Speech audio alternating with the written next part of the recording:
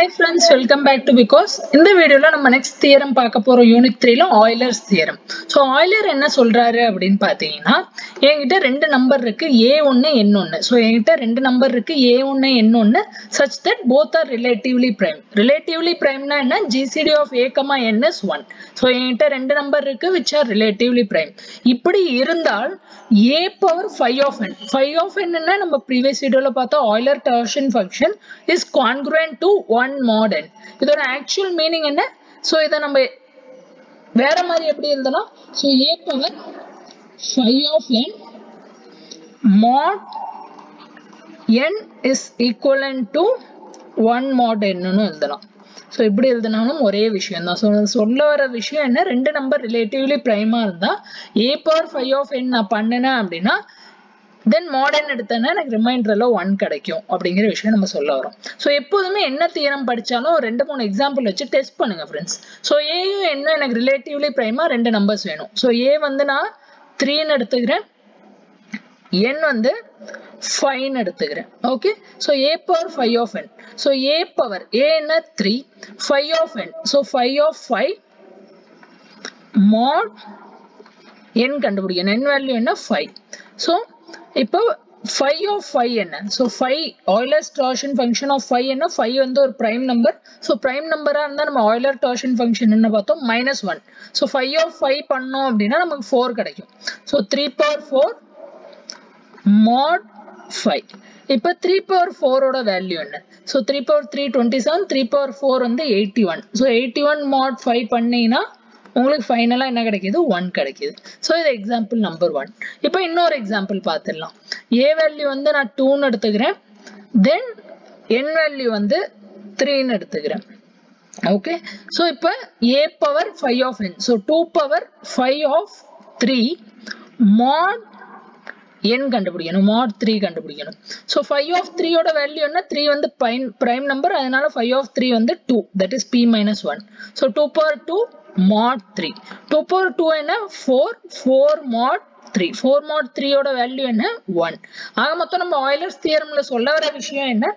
ஏ என்னன்னு எங்கிட்ட ரெண்டு நம்பர் இருக்கு. ரெண்டு நம்பரும் ரிலேட்டிவ்லி பிரைமா இருக்கு. ரிலேட்டிவ்லி பிரைம்னா என்ன? ரெண்டுத்தோட ஜிசிடி வந்து ஒன் இப்படி இருந்தால் A power phi of N is congruent to one mod N இவ்வளோதான் ஃப்ரெண்ட்ஸ் தியரம் ஸோ இந்த தியரியுமே நமக்கு ப்ரூஃப் இருக்கு. ரொம்ப சிம்பிளான ப்ரூஃப் தான். ஒரு நாலே ஸ்டெப் தான். இந்த நாலு ஸ்டெப்ஸை மட்டும் ஞாபகம் வச்சுக்கிட்டா போதும். So first step number one இப்போ நம்ம என்ன பண்ண போறோம் அப்படின்னா இந்த தியரம் ப்ராப்ளம் ஸ்டேட்மெண்ட்ல என் வந்து நான் பிரைம் அப்படின்னு கன்சிடர் பண்ண போறேன். ஸோ என்ன என்னன்னு கன்சிடர் பண்ண போறேன் பிரைம்னு கன்சிடர் பண்ண போறேன். அப்போ இந்த ஈக்குவேஷன் என்ன ஆயிடும்? என் பிரைம்னு கன்சிடர் பண்ணனா ஏ பவர் ஃபைவ் ஆஃப் அந்த பிரைம் நம்பர் என்னன்னு வச்சுக்கலாம். ஸோ ஃபைவ் ஆஃப் பின்னு வச்சுக்கலாம். Is congruent to one mod என்னென்ன அதான் நம்ம பின்னு எடுத்திருக்கோம் ஒரு பிரைம் நம்பர் அகெயின் இதை நம்ம எப்படி எழுதலாம்? ஏ பவர் இப்போ Euler's torsion function of a prime number என்ன? It is nothing but P power minus P minus one so Euler's torsion function of P கண்டுபிடிக்கணும்னா it is nothing but P minus one so A power phi of P அப்படி எழுதலாம். A power P minus one எழுதிடலாம். So A power P minus one it is congruent to 1 mod p. So நம்ம இங்கே என்ன பண்ணியிருக்கோம்? ஏ Euler's தியரம்ல just ஒரே ஒரு change மட்டும் பண்ணியிருக்கோம். என்ன சேஞ்ச் பண்ணியிருக்கோம்?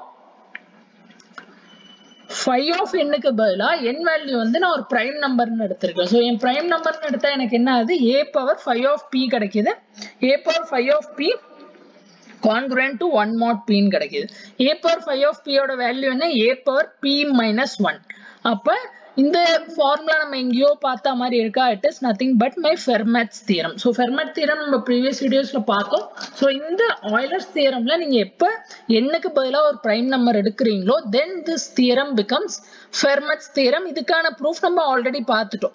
ஸோ இதுக்கான ஃபெர்மட் தியரமோட ப்ரூஃப் நம்ம ஆல்ரெடி இதை ப்ரூவ் பண்ணிட்டோம். இப்போ நெக்ஸ்ட் கேஸுக்கு வருவோம்.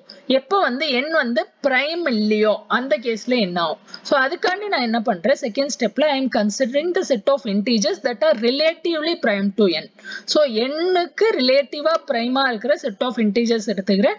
ஸோ அந்த செட்டுக்கு ஒரு நேம் வச்சுக்கிறோம் ஆர் அப்படின்னு. So R is nothing but அந்த இன்டீஜர்ஸ் எக்ஸ் ஒன்னாக இருக்கலாம் எக்ஸ் டூவாக இருக்கலாம் and so on up to X of phi of N வரையும் நான் எடுத்துக்கிறேன். ஓகே ஒரு செட் ஆஃப் இன்டீஜர்ஸ் எடுத்துக்கிறேன் which are relatively prime to N so அதை வந்து நேம் பண்றேன் X one X two so on up to X of phi எடுத்துக்கிறேன். Next ஸ்டெப்ல என்ன பண்ணும் அப்படின்னா ஜஸ்ட் இந்த ப்ரீவியஸ் செட்டில் நீங்க ப்ரீவியஸ் ஸ்டெப்ல கண்டுபிடிச்ச செட்டில் இருக்கிற ஒரு ஒரு எலமெண்ட் கூடயும் ஏ மல்டிப்ளை பண்ணுங்க. ஏ மல்டிப்ளை பண்ணி கிடைக்கிற ரிசல்ட்டை மாடர்ன் எடுங்க. ஸோ ப்ரீவியஸாக கிடைச்ச ஸ்டெப்ல ஒரு ஒரு எலமெண்ட் கூடயும் ஏ மல்டிப்ளை பண்ணும். பண்ணிட்டு ரிசல்ட்டில் மாடர்ன் எடுக்கணும். அப்போ இந்த புது செட் பேர் எஸ்ன்னு வச்சுக்கிறேன். அப்போ எனக்கு எப்படி ஆயிடும்? ஃபர்ஸ்ட் ஏ மல்டிப்ளை பண்ணால் ஏ எக்ஸ் ஒன் தென் என்ன பண்ணணும்? மாடர்ன் எடுக்கணும். So mod n next a x two again mod n and so on அப்படியே போயிட்டே இருக்கும். லாஸ்ட் எலமெண்ட் என்ன? A x five of n into mod n so இப்போ எனக்கு இன்னொரு செட் கிடைச்சிருச்சு. ஸோ நெக்ஸ்ட் செட் நம்ம கண்டுபிடிச்சிட்டோம்.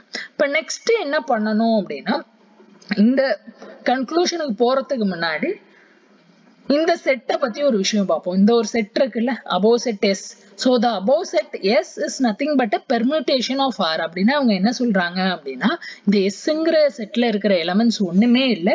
என் ஆர் செட்டை நான் ஏதோ ஒரு சீக்வன்ஸ்ல ரீஅரேஞ்ச் பண்ணா I will be getting my S set ஏன் அப்படி? எதுக்கான ரீசன் என்ன? ரீசன் என்னன்னு பாத்தீங்கன்னா first point because A is relatively prime to n and every xi that is x1, x2 and so on is relative to relatively prime to n. So first reason என்ன A is relatively prime to n and all xi is relatively prime to n. Therefore என் axi நான் பண்ணும்போதும் that will also be relatively prime to n. ரொம்ப சிம்பிளான விஷயம் friends A வந்து relatively prime to n அதே மாதிரி xi வந்து relatively prime to n அதனால நான் AXi பண்ணாலும் அதுவும் ரிலேட்டிவ்லி பிரைம் டு என்னா தான் இருக்கும். தேர்ஃபோர் என்னன்னா இந்த செட்ல வர எலமெண்ட்ஸ் எல்லாம் it is nothing but permutation of ஆர்னு சொல்ல வரும். பாயிண்ட் நம்பர் டூ என்ன அப்படின்னா என் செட் டெஸ்ட்ல டூப்ளிகேட்ஸ் எதுவுமே இல்லை. ஸோ அந்த டூப்ளிகேட்ஸ்க்கான ப்ரூஃப் தனியா இந்த தியரம்ல கொடுக்கல. ப்ரீவியஸ் தியரம்ஸ்ல நம்ம பார்த்துட்டோம். ஸோ அந்த ப்ரூஃப் திரும்ப நெசசிட்டி இல்லை.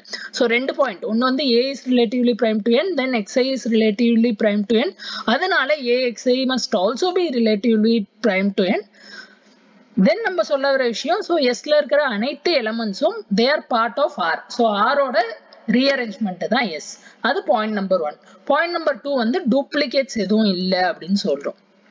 Next final proof so final ப்ரூஃப்ல ரொம்ப ரொம்ப ஈஸி ஸ்டெப்ஸ் ஃப்ரெண்ட்ஸ் ஒன்றுமே இல்லை. ரொம்ப ரொம்ப சிம்பிளான ஸ்டெப்ஸ் என்ன பண்ணணும் அப்படின்னா ப்ராடக்ட் ஆஃப் எஸ் எடுக்கணும். ஸோ என் எல்ஹெச்எஸ்ல என்ன எடுத்திருக்கேன் அப்படின்னா ப்ராடக்ட் ஆஃப் எஸ் ஸோ எஸ்ல இருக்கிற அனைத்து எலமெண்ட்டோட ப்ராடக்ட் அனைத்து எலமெண்ட்டோட ப்ராடக்ட் எடுத்தா எப்படி ஆயிடும் அது?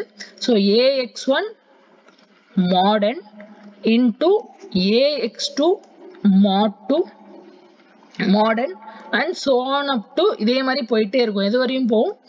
A x five of n mod n ஆயிடும். ஸோ இப்படி நான் பெருசா எழுதியிருக்கேன் ஷார்ட்டா எப்படி இல்லைன்னா பை சிம்பிள் என்ன இண்டிகேட் பண்ணு? ப்ராடக்ட் இண்டிகேட் பண்ணுது pi starts from I equal to one up to phi of N A X I mod N இது என்னோட left hand side then right hand side என்ன? ரைட் ஹேண்ட் சைடு ஒன்றுமே இல்லை friends நம்ம product of R so நல்லா ஞாபகம் வச்சுக்கோங்க. ஆர்ஹெச்எஸ்ல product of R எல்ஹெச்எஸ்ல product of S S S இங்கே ஆர் ஆர் அப்படி ஞாபகம் வச்சுக்கோங்க. அப்போ இங்கே ஆர்ல என்ன? X one X two one so on up to X of phi இருக்கு. So pi of I equal to one up to phi of and X I இது என்னோட ரைட் ஹேண்ட் சைடு இந்த லெஃப்ட் ரைட் நீங்கள் எப்படி வேணுமோ மாற்றி எழுதிக்கலாம். இப்போ நெக்ஸ்ட் என்ன பண்ண போகிறோம்னு பாருங்க. நெக்ஸ்ட் என்ன பண்றோம்னா இங்க ஈக்குவல் டு சிம்பிள் எழுதியிருக்கோம். நெக்ஸ்ட் நம்ம என்ன பண்ண போறோம் அப்படின்னா கான்குரன் சிம்பிள் கொண்டு வரணும். கான்குரன் சிம்பிள் ஈக்குவல் டு சிம்பிள்ல இருந்து கொண்டு வரணும்னா நம்ம ப்ரீவியஸாக கான்செப்ட் என்ன பார்த்தோம்? இந்த சைடு இருக்கிற மாடர்ன் அந்த சைடு கொண்டு போயிட்டேன்னா நான் கான்குருவன்ட் அப்படின்னு எழுதிடலாம். ஸோ என்ன பண்ணலாம்? இந்த சைடு இருக்கிற மாடல் அந்த சைடு கொண்டு போயிட்டேன்னா கான்குரண்ட்னு எழுதிடலாம். தேர் ஃபோர் லெஃப்ட் ஹேண்ட் சைடில் pi of i equal to one to phi of n a x i மட்டும் மீதி இருக்கும்.